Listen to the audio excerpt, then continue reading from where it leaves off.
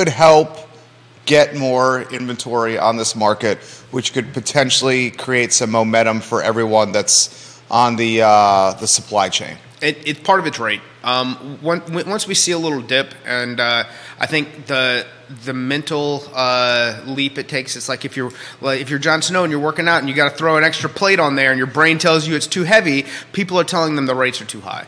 Um, I think we break that six percent barrier, um, and we put fives on the board. Uh, you see more people willing to go. Okay, I can move from here to there. Um, you know, I know this is high, but this isn't the end of the world. I think the six percent is kind of a bit of a mental barrier that's preventing people from taking that next step as far as listing to then go in and purchase at that uh, same aspect, especially considering some of them may be in the threes or even the twos, depending on when or how they lock the rate um, back in uh, 2020, 2021 if they refinanced. That's a great.